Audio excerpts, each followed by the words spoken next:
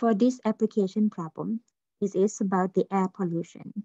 Suppose that the average measure of air pollution in Suitsville is given by the formula T at T equals T squared divided by T squared plus 36, where T is the time in years measured from the year 1980. The question is how fast was the measure changing in 1988? The time change from 1980 to 1988 that give us t equals 8. The key term, how fast, how fast means the rate of change.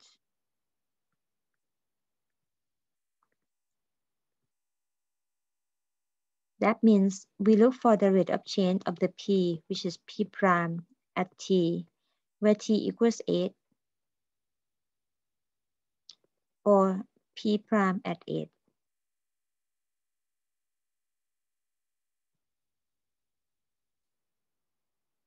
First, we are going to find the derivative of the p with respect to t and rewrite the denominator from the square root in the terms of the power. This one we see the quotient. If we treat it as u over v, the u is t squared, so u prime is 2t.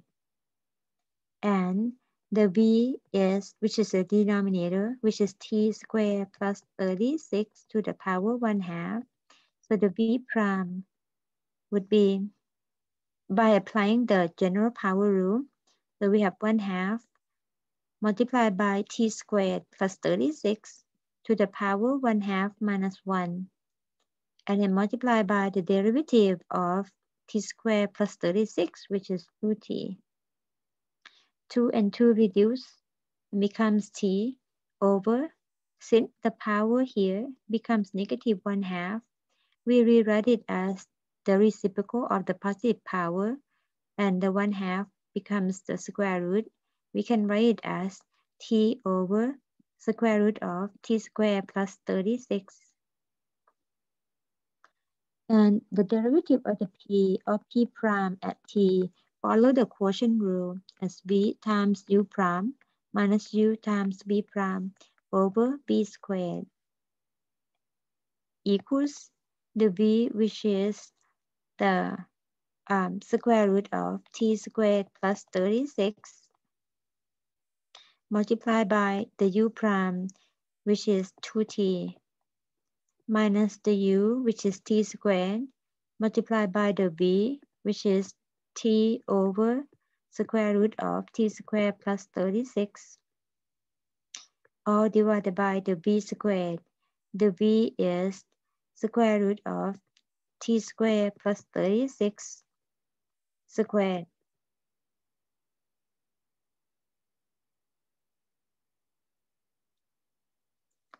Now simplify.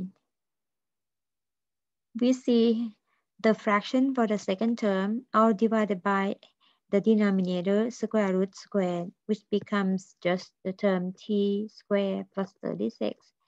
So avoid making the algebra mistake. I'm gonna rewrite it as 1 over t squared plus 36 multiplied by the square root of t squared plus 36 multiplied by 2t and then minus t to the third divided by square root of t squared plus 36. And then work on the terms inside of the brackets by finding the denominator. And the first expression will be multiplied by square root of t squared plus 36, both top and bottom. So we will get 1 over t squared plus 36 multiplied by the common denominator, which is square root of t squared plus 36. Multiply both top and bottom of the first term by square root of t squared plus 36. We get t squared plus 36. Multiply by 2t minus t to the third.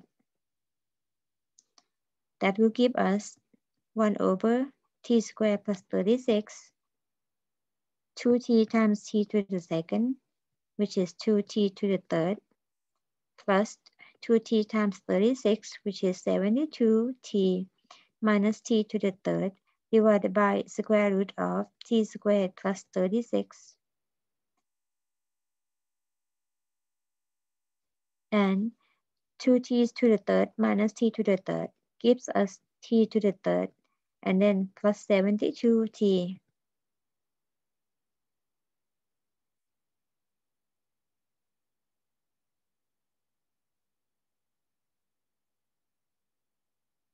and divided by the product of t squared plus 36 and square root of t squared plus 36.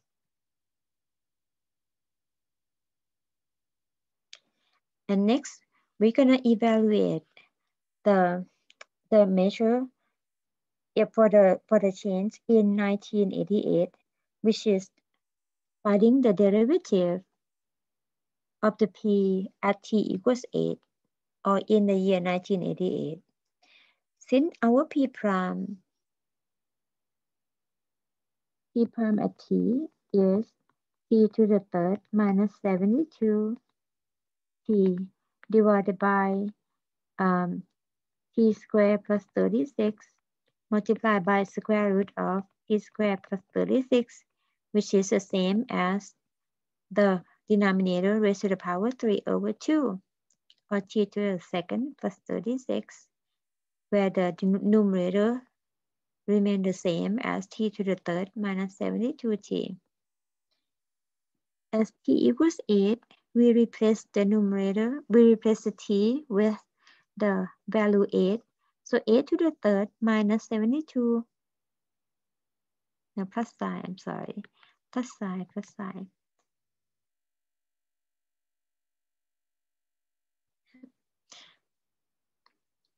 p prime at 8 equals 8 to the third plus 72 times 8 all divided by x squared plus 36 raised to the power 3 halves.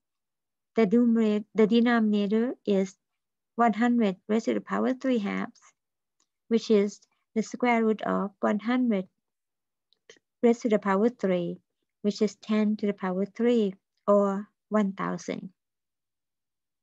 The numerator 8 to the third plus 72 times 8 is 512 plus 576 and gives us the numerator 1088 divided by denominator 1000 or the p prime at 8 is 1.088.